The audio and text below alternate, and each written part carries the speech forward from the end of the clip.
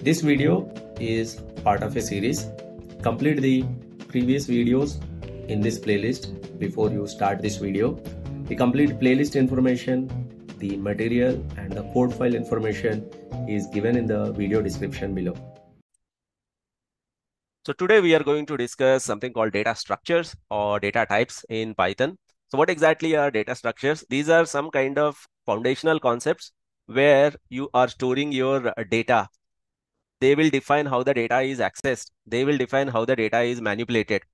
If you have some kind of data, you cannot store this data in a single object format in Python. Sometimes you store the data in a different type. Sometimes you store the data in a list. Sometimes you store the data in a string. Sometimes you store the data in a dictionary. Sometimes you store the data in a set or a tuple. Like that, there are different data types in Python. And within data types, there are multiple number of data types. We need to understand what is in touch with us. That we have to understand in depth. What may come every now and then, very rarely. Based on the need, we can learn it later on. So data structures, they organize the data and they impact the memory. How the data is stored internally, that is defined by data structure. So that will definitely impact the overall speed of the code, efficiency of the code. Understanding data structures is the critical aspect. A lot of times people learn Python on their own or people learn Python from, let's say, Udemy or let's say YouTube. But the problem is we have to follow a structured manner. Even without following the structured manner also, we can learn Python, but it will be very confusing in the beginning. So I'm starting with some of the foundational concepts. Those are known as data structures. If you are comfortable with data structures, automatically you will be comfortable with the rest of the upcoming topics that we are um, talking about. But the only thing is people ignore these data structures thinking that they are too simple. Even though they are simple, once you get a very good understanding, then only you should move forward. Let us go ahead. Once I tell you what are these data structures, then you will get clarity. By the end of this session, I'll make sure that I'm going to give you 100% clarity on what are these data structures. So within Python, there are multiple data structures. Some of them are primitive, some of them are non-primitive, some of them are user-defined, some of them are built-in. What do you mean by primitive? Primitive means very basic data structures. These are the basic data structures. That means if you are storing a number, it will be stored as an integer or a float. That is very pretty much basic, isn't it? No matter what programming language that you're taking, these are primitive. They must be there. Okay. Remaining are optional. Let's say whether you have these or not, that is optional. Even without these, you can handle. But these are like you have to, when you're writing a program, either you're working with numbers or floats or float means a decimal number or strings or boolean. Boolean means true false values. You may want to check sometimes whether it is right or wrong or true or false in those cases. So there are primitive data structures integer float string boolean. There are non-primitive. Within that there are built-in user defined built-in means python will give you automatically these without defining them. These are user defined we have to define them so what I will say is this almost 100% of the times you will use them as a data scientist or as any programmer, you will be using them. Maybe this every now and then they will come and go. In between you might be using you must know these as well. So this there is no option. These are like 100% you have to understand how to handle integers how to handle strings how to handle booleans. There is no option other option for you now this is like every now and then maybe you will be working with lists every now and then you'll be working with dictionaries or sometimes with tuples sometimes with sets you may be working so you will be using them in several programs maybe intermediate to advanced programs you will definitely use them now, these are kind of rare. Even if you ignore them right now, that is fine. Even without them, we can handle it. These are kind of very advanced type of uh, data structures. Even if we don't learn them right now and keep it for at a later stage, that is still fine. Can I work without a stack? That is fine. Can I handle without a queue? That is fine. Can I handle without a linked list? Can I handle without a tree data structure? That is all fine. Because these are from the programming point of view or Python developer point of view, they may be important. But from a Python data scientist point of view, these are the ones that we use very frequently. So we have to be 100% sure on these uh, topics. This is like we have to be almost feeling like home. This is something like if you're talking about integers and handling integers, if you're talking about handling strings, slicing strings, handling or accessing particular element in the string or handling lists, I am absolutely comfortable. That's what we have to say. And it's my responsibility to make sure that I'm making you absolutely comfortable in this. So these are the four data types. You don't need to memorize them. Automatically, they will come and sit in the memory once we do enough practice. And these are some of the data types that are built in non-primitive that we will be discussing.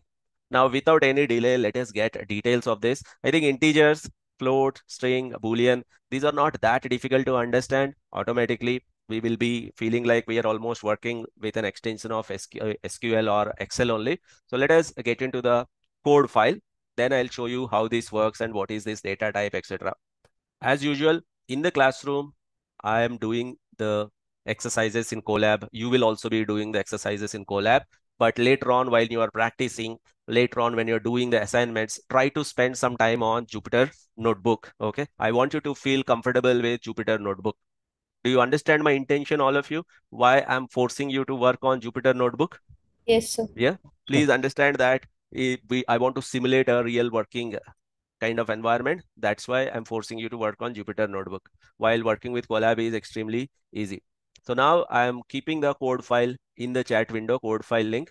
Open that code file link. Once you have opened that code file link, if it is working, give me a confirmation in the chat window. So now I am keeping the code file in the chat window, code file link, right? Sir? Yes. So instead of practicing in Google Colab, can't we start practicing in uh, Jupyter itself? Yes, you onwards? can you can do that. Yes. But the only thing is uh, Jupyter Notebook installation very much depends on the system. So what I have observed in the classroom is people have different different systems, isn't it? Because of that, system related errors are popping up or Python version related errors are popping up. Since I want everyone to use the same version of Python, same system, same configuration, I'm bringing some kind of uniformity by working on the Colab. Okay just to avoid so like usually what happens is in somebody's system it is working in somebody's system it is not working. The reason is not due to syntax. The reason is due to the jupyter version or something okay? That is why in the classroom like if you can handle the error on your own go ahead with jupyter. Otherwise in the classroom we'll practice on colab and then later on like when you are uh, kind of practicing later on you can practice on jupyter notebook okay? So whenever you want to add a code cell the usually i what i do is anyway this code cell you can experiment uh, here itself. Later on, I'm going to give you once again IPython notebook file anyway once again to you. So how do you add code cells by adding these uh, plus sign. So here I'm adding so many code cells. So these are all the code cells that I'm adding. If you just click on this code, it will be adding the code cells. Now I'm talking about integers. Let's say if I say age is equal to 30. Now that internally in Python. So it is first time it is saying that it is authorized by someone else. You say run anyway and then it will create a cloud instance. This is the cloud instance that is getting created. Initially, the first command will take a little bit of time because uh, some RAM and some disk space is given to you. That is why it is taking time. Now, if I want to know what is the type of this object, you will say print. And I want to know the type. Can you make a guess what will be the way to know the type of this object? Just make a guess about the function. If, if I want to know the data type, what can type. be the function? I will simply say type and say whatever is the object that I have created. And if I want to use the suggestions given by Google Colab, I can use the tab and then hit enter. What does it say? What type of class is it? Int. Int. Is it straightforward? There's no explanation needed there. You have stored 30 in age. And when you ask for the type, it has given you as integer. Now, when I say income is equal to $12,1250 point five six seven. Now, if I say in the same cell or in the next cell, type of income, can you make a guess? Float. Hmm? Float. It will be given as float. This is float. Right? So this is a pretty straightforward. We understand we understand how these numbers and floats work. There is no point in discussing a lot about it. But let us discuss about something called uh, strings. We need to understand how strings work. That is very important. Before that, simply quickly do the integer versus float one. Now, strings are one of the most popular data types in Python, and you must be very comfortable in strings and once you understand a particular structure, you will be feeling very comfortable. Okay. Let us suppose if I say name is equal to Sheldon and I'm trying to print the name.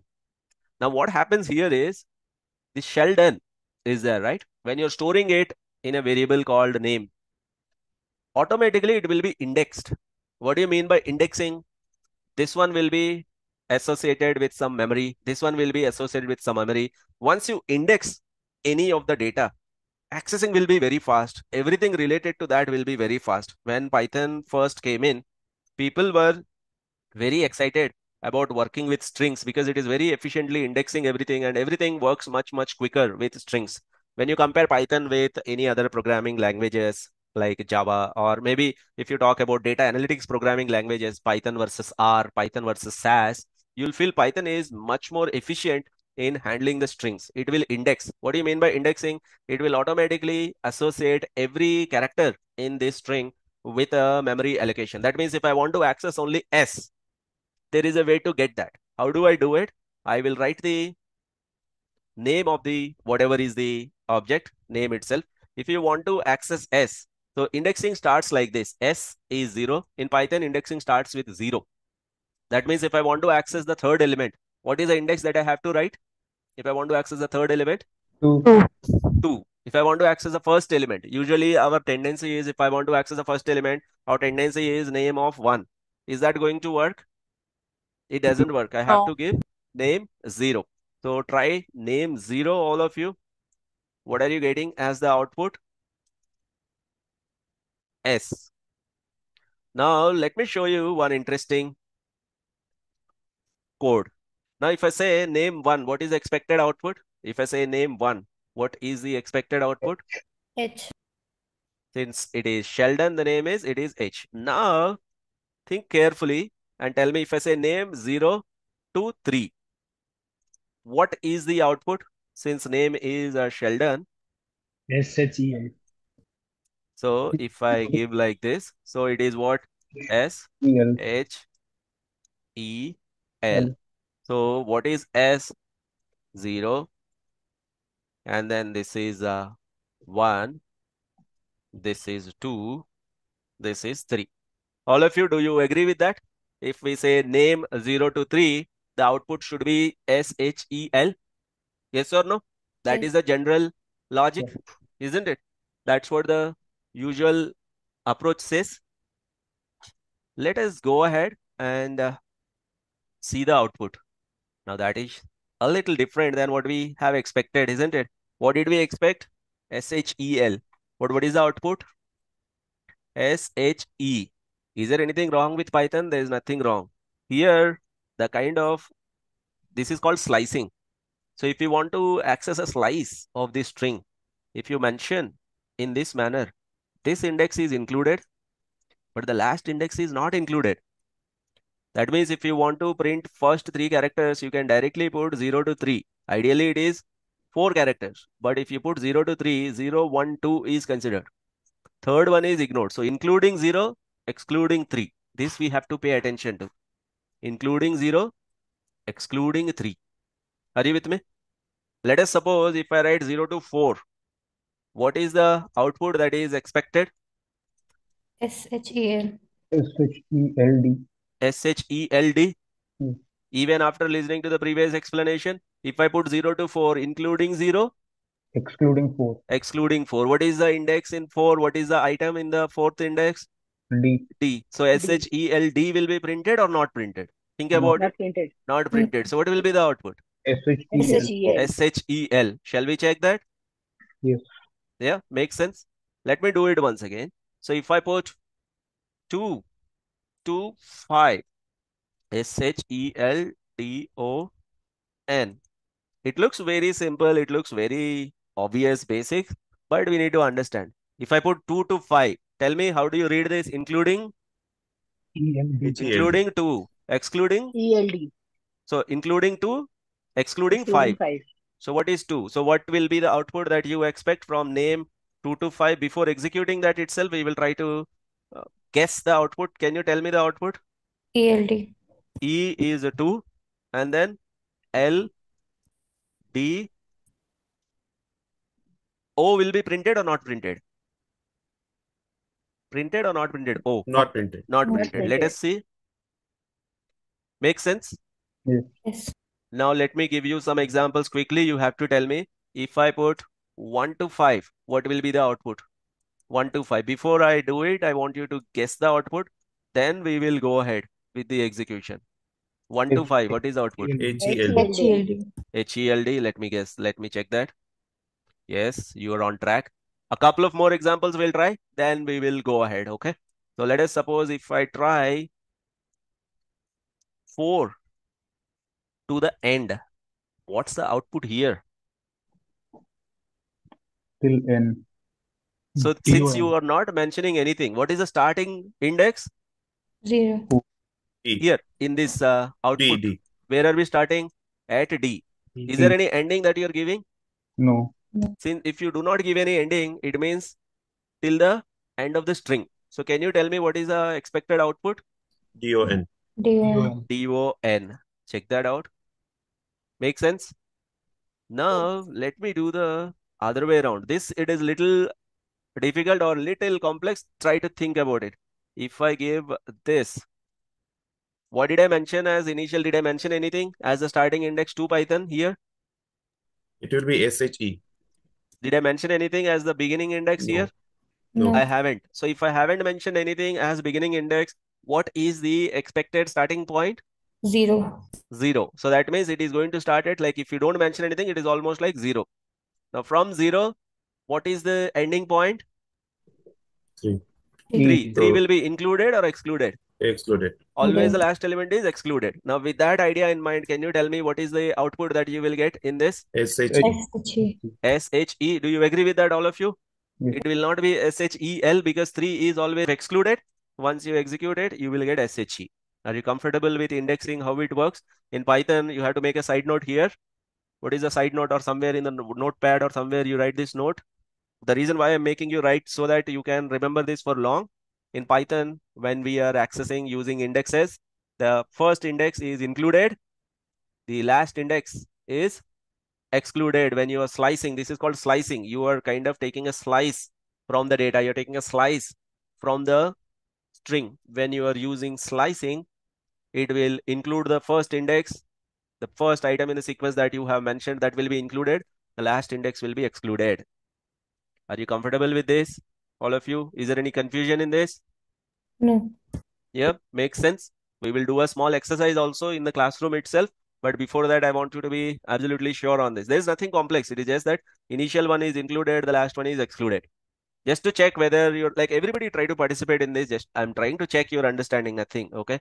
Let us suppose if I write 2 to mm, 10, can you tell me what is the output? I wrote 2 to 19. What is the output? E-L-D-O-N. So first, ELD. let us try to have a dialogue. The initial index is what? E. E, which is like index at 2. Is that included? Included. Now, Yes. what is the max index that we can give here? Max to max. 18. Max to max index is how much? Like here, 0, 1, 2, 3, 4, 5, 6 only are there. Overall, 7 elements are there. We can access 7 elements only. But I have Hmm. given 19. Is it going to throw an error? No, No. it will show whatever is available and then remaining ones, if it is not there, it will not throw an error. So it will start at E. It will be E L D O N. Shall Yes. I do it? Is that the expectation? Yes. Yes. E L D O N. Are you with me, everyone? Now tell me this last example, then we will move ahead. Three to four. I'm trying to confuse you maximum amount of time so that you are kind of strong. Three to four, that's what I have given. Think carefully and answer. Don't give me the quick answer L. that you will get. Give me the right answer that you will get. L. So let's have a dialogue. When I say three to four, what index is included? Only L. Only L. L. Index number, index item. Three. Three Three. is included. Eh. Yes. And what is excluded? O. Four. 4 is That is D. excluded. So that means automatically what is going to be printed? L. L. Let us see. L. Now let me confuse you with one more last one. If I put this. Sir, no output. I just tried this. Mm, you guys are on track. What? Why it is not giving any output? It has given output even for this one. Yes or no? Mm-hmm. because it has understood okay why? like uh, maybe the guy is uh, like whatever python is trying its best to give you the output but this one is confusing when you say this including what what is which index is included? Three. 3. Three. Three Which is included. index is excluded? Three is excluded. So is it ambiguous or is it is a clear uh, instruction that we gave to Python? Sir, ambiguous. Isn't it? If I tell you like please bring the tea and also don't bring the tea, what do you will do? Ex- There is Don't bring nothing, isn't it? We will not take that uh, command. That's what has happened. Are you comfortable with this, all of you? Let me just uh, do this last one. Tell me the output of this. We will go ahead. S H E L. SHEL. S-H-E-L. Now there is one command called length. It will tell us what is the length of the string. Can you tell me what is the length of the string? How many elements are there in this string? How many elements are there? S-H-E-L-D-O-N. Overall, seven elements are there. How do I get the length of the string? Can you make a guess about the function that will give us the length of the string? Length. Print. Can I use Yeah. L-E-N-G-T-H? Yeah. L-E-N-G-T-H. L-E-N is sufficient, okay? Or L-E-N-G, that is the guess that I'm making, but the actual function is L-E-N. Length is L-E-N. How do you know whether it is a function? Google Colab is giving you a hint. Can you observe that hint Google Colab is giving you? Let's say if I say L-E-N-G, I'm just guessing, versus L-E-N. Tell me what is the hint for functions? It is giving a kind of uh, different color, isn't it? For variable names, it is giving a different color. For strings, it is giving a different color. What is the green color one? What is it from? Comment. For comments, Comment. it's giving green color. That is why I'm suggesting you to use Google Colab briefly in the beginning. It's kind of makes our life little easy. So if I say length of name, what is the expected output without executing? Can you tell me? What is the expected output? Seven. Seven. Seven. Perfect. Sir, I have a doubt. Carry on. Sir, when I typed uh, in that print name, uh, 7 is to 4, so that is also not showing any output. I mean, like, uh, isn't it taking, why, why is that? So first of all, in a sequence, this has to be lower, this has to be higher. It should throw an error, but uh, it is showing you nothing. Okay. Sir, when you took uh, 4 is to 19, so 19 is also nothing on the right side. So See, it now still let's see. 4 is to 19. What is the starting index? 4. 4. That means D is there, Okay. O is there, N is there. So it's possible. 5, is it possible? Possible. Yes. 6, possible. Beyond that, is it possible? 7? No, There's nothing. That's why. Okay. Okay. It's all about you are giving an instruction to Python. Is it able to understand that without any ambiguity? If there is any ambiguity, either it will throw an error or it will return nothing. Does that make sense? Yes. I do understand it's a very primitive, very basic example, but I want you to be just a little comfortable here. It's not like you will be doing some data analysis on this type of data, or you will be working on this type of Sheldon and Shandal Cooper. No, it will you will not be doing that. But you will be working with indices. And you have to have absolute clarity on how indices work. If somebody asks you, get the first 10 elements, what will be your command? Tell me. Get the first 10 elements using the indices. What will be the starting point? Zero. Zero. What will be the ending point? Are you going to write nine? Eleven. Eleven. If you Sorry. want, if you want to get first 10, this is sufficient. Let's say here in this example, somebody asks, get the first seven elements or get the first six elements. What will be the output? What are the first six elements? Or the get the first three elements. What will be your way of writing? First three elements. Zero to Two, three. three only. Three elements, you can write three. But ideally, if you are thinking from the indexing point of view, it looks like four elements, but it is zero to three only. Now let us go a little bit more into this. Then I will give you a small exercise here. Let us suppose if I'm saying my first name is uh, Sheldon, last name is Cooper. Okay, Sheldon Cooper. Now if I try to concatenate both of them, there are multiple ways of doing it. One of the ways of concatenation, Python has made it extremely simple for concatenation. What is it? If I want to get the full name, if I want to define full name, I will write first name plus last name. First name plus last name. Can you tell me what will be the expected output? What will be the expected output? Sheldon Cooper. Sheldon Cooper. Sheldon Cooper. First name is not defined, last name is not defined. Whenever you see an error, first of all, be very happy. All of you, I'm trying to give you one trick in learning any new Python programming language or any programming language. As soon as you see an error, you should be double excited. What is the general tendency? As soon as we see an error, we panic. Yes or no? As soon as we see an error, we tend to lose a little bit of motivation. But I do it the opposite way. I get very excited. Tell me why, when we are learning something, as soon as we see an error, why we should get excited? Tell me the reason behind it. Well, teach us more. because that will give you an opportunity to learn more than what others are learning. Tell me what mistake I have done. Can you help me here? Look at the error. When you're reading the error in Python, there is a trick that I told you. When you're reading the error, what you should do? Bottom to top. Start Bottom to bottom. top, isn't it? Am I going to read name error, trace back, most recent call, IPython input? Is that the way I'm going to read an error? No, sir. No, no, no, no. Where is the error? First we name haven't defined. First name not defined. I have a defined first name, no? Uh, sir, we haven't executed. Yes, I have defined in my mind, but I haven't executed. I haven't told Python that first name is Sheldon. So once you execute it, now if I execute, is it going to work? It Yes, must sir. work. Sheldon Cooper. But is that the format that we have imagined? Is that the format that we are looking No. for? No. No. I think what is better way of printing it? Sheldon, then space, then Cooper. Yes or no? Yes. Shall we give a space? Can I concatenate? Can you help me in the same thing, concatenating with space? Can I put some space in between? So this is the space plus, no, space. Is it a string? Empty space is also string. So Yes. string one Yes. is first name. This is string two. This is last name. Do you think it's going to work? It is going to work. Are you with me? Concatenation. Yes. All right then. Shall we do a quick exercise then? I want everyone to try this. Usually you can do the exercises after the classroom, but this one we will try to do it uh, right here just to see how comfortable are you because I want you to be very good with this indexing because once you're comfortable with indexing, automatically you will be very comfortable with other topics that are coming up. So create a string hello world and be aware, aware of the empty strings before and after. So you have to say my string is equal to hello world. Okay. There is a space before this. There's a space after this. What is the index position of R? Remove the first and last space from it and store it in a new variable. Extract only print ELLO using indices. You have to do it.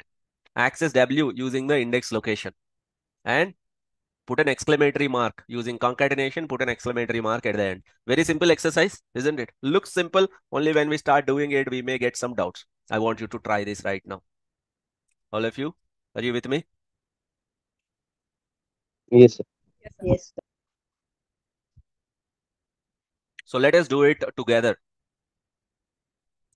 So first, we have to get something called hello world. So the string name is hello world. So I would say my string is equal to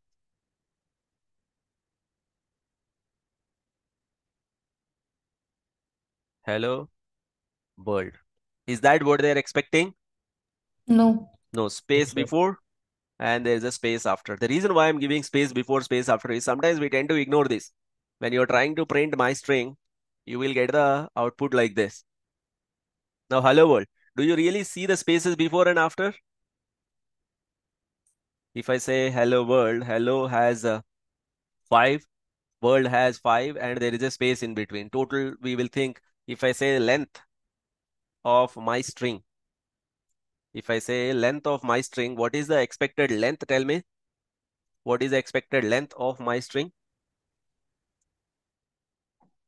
13. 13. It looks like when you print it, it looks like hello has five, world has five. In between, there is a space. We expect it to be 11, but you said 13. There are two more values that you have added. From where you are adding them? What are those? There is Before a and s- space here. There is a space here. Can you see them? When you try to highlight in Colab, the space shows with a dot. If I try to print the length of my string, it is 13. Right? Next. What is the index position of R? That was a question. What is the, in- this is a direct question for you to understand and give it. What is the index position of R in hello world? So what that would be? It is just counting, basic counting only you have to perform just to see your understanding. Nine. Confirm that all of you. Is that 9? So that means if I print my string 9, am I going to get that? Uh, 11, sir. Is that 11 or 9? Quickly check with this uh, method. Quickly check the index position. Sir, is it eight? No, check that. Just uh, you tell me what is the index position of R. It's nine. So some people are saying 8. What is the index position of R? Oh, let me try to once again do the way that I have done. I will try to do it again just for the sake of clarity because still some people are confused. So this is the string, right?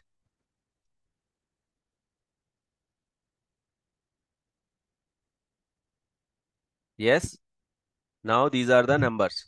Do we have a space before that? Zero. There is a space, yes or no? For space, I have given zero. For H, I have given one. For E, two. And then three. And then four, five. There is a space after this. Six, seven. W is seven. O is eight. R is nine. Ten. Eleven. Twelve. This is space. There is a space, which for that space, 12. 0 to 12. What is the length? 0 to 12 means length is how much? 30. Matching or not? It's matching, right? Now tell me what is the position of R? That was the question. What is the position of R? 9. Nine. Is there any confusion in that? If I want to know what is there in ninth position, I will simply say print my strings, my string, and put 9. Why it is saying my string is not defined? Wrong variable name. Hmm. What is the variable that I have defined? My underscore string. My underscores. Perfect. R. Makes sense or not? As I told you, it looks very Yes. primitive. It looks very simple, but we are not able to tell the position of R within one shot. Are you with me? Yes, Yes, sir. Now I want to remove the first space. I want to remove the initial space and the last space from the string. And I want to store the rest of the ones in the data. Now I want to use indexing for that. I want you to use indexing. Have you understood? My string is hello world. I want you to get a substring. I want you to use slicing to get hello world only without spaces. Are you with me? So my string is the original string. I would say my string one has to be like this. Hello world. Okay. Can you use can you use indexing for doing it? All of you try it. Give me your output in the chat window. What is the command that you have to write? Once you try it out, make sure that you are printing the output, checking everything is working fine or not. If it is working, give me the output in the chat window. The idea is I want you to get hello world from this linear string of hello world using the indices. So you know the index positions of everything. So let me show you the output, how it works. I want to create hello world, but without these spaces. So the way I will do it is my string one is equal to, I will write my string, right? My underscore string, right? And then I will try to use the indices. Tell me what is the starting index that I have to give? Zero. 1. If I One. give zero, is that right? No, we don't need to take space. 1. The whole point is what? What is the whole point that we are discussing here? We don't want the initial space. So do you want me to give zero here at the beginning? What is the beginning index that we want? 1. Beginning index is one. Are you with me? Everybody, are you able to understand? Are you not able to able to understand? We don't want the first space, which means I will start from one. And what is the ending position? Think this time. Don't just give me the first answer. Think what is the ending position that I have to give? 12. 30.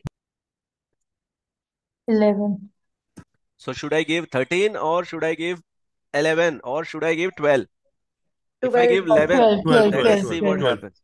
नहीं 11 बोल दिया आप गलती हो गया अभी okay now you cannot take back okay you told 11 which means I will lose what D. D. Why? This is wrong, right? Is 11 included? D is at 11. Is it included?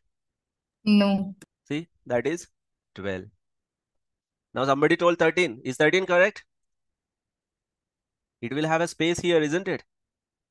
So we have to say 12. Then it will be printing hello world. Are you with me? So basically, the question here is the string that is given to you is hello world with initial uh, space, final space. Okay. Yes. The variable that it got stored is my string. Yes. Now the exercise that I gave is you have to create something called my string one. Okay. And what is the requirement? The requirement is I don't this my string one is kind of cleaned version. What do you mean by cleaned version? I don't want any spaces in the beginning and at the ending. So I want to create my string one by removing the spaces. That's where. Okay. Okay. That's the kind of exercise that I gave. As I told you, this indexing looks simple. When somebody is explaining, when we are looking at it, it looks simple. But when we start solving it, that is when we get confused. But anyway, once we see the output, then we tend to correct ourselves quickly. Are you ready for the next exercise? I want you to extract ELLO from the above output using the indexes. Can you do it, all of you?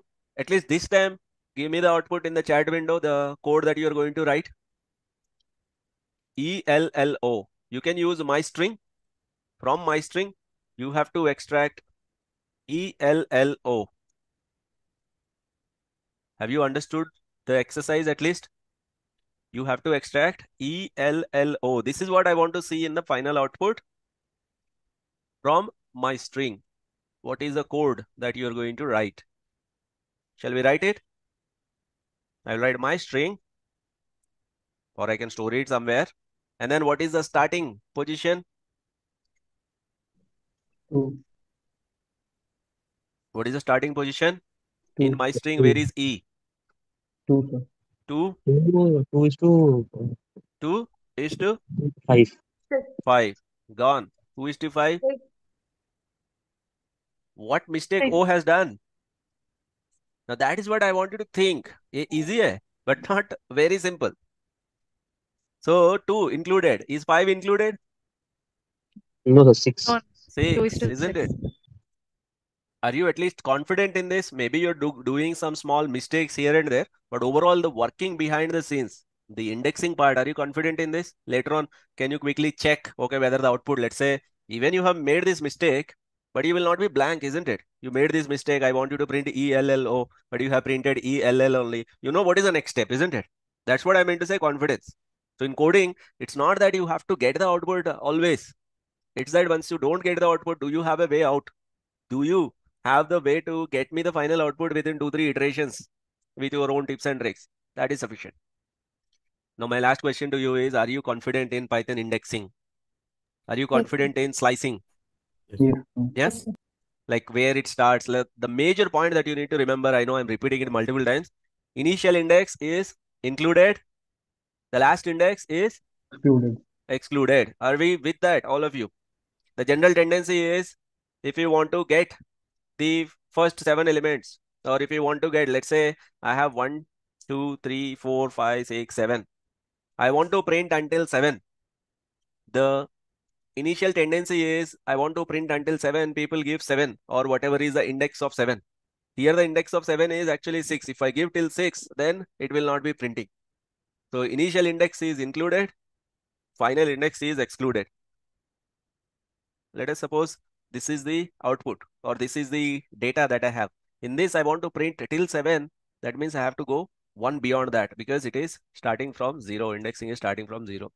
Maybe I'm going to give one more exercise right after this session. Once it ends, there will be one assignment in that you will get multiple chances to work on multiple type of these uh, exercises. These are like more like practice is required rather than discussion because the indexing, once we get the idea, we can go ahead. This is string type of data. There are multiple other times where we handle strings later on. There we will get into some more functions and some more advanced aspects. Now the next data type is known as Boolean. When you hear this term Boolean, what comes to your mind? Boolean. When I say Boolean, what comes to your mind?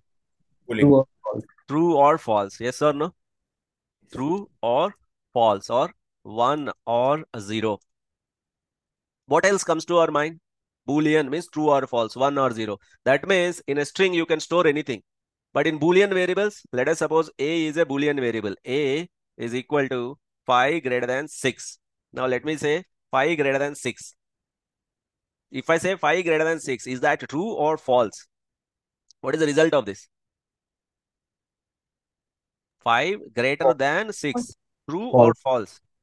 False. False. False, hai na? Is there any doubt or is fine? Shall I explain it?